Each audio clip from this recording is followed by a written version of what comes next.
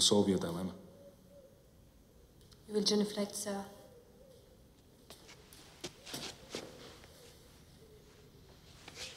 I will solve your dilemma.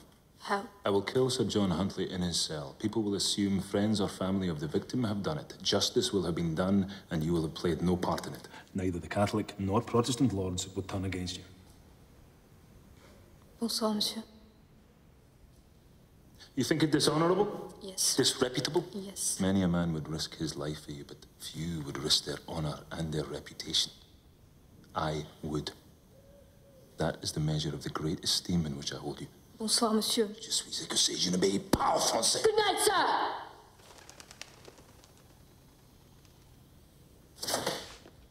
You will genuflect, sir!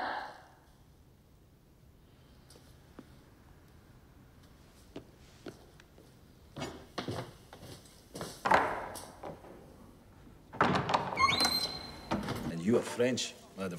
And I would sooner be drunk for a year than French for a day. Now, is it French to see merit in this long streak of English pish, madam?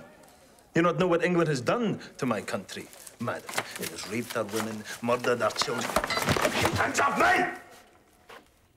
And now it dines with our queen.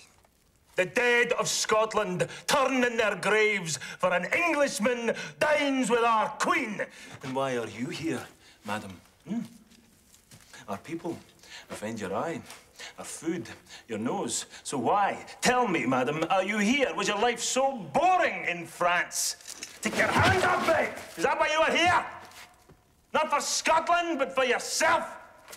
God, you will die for this!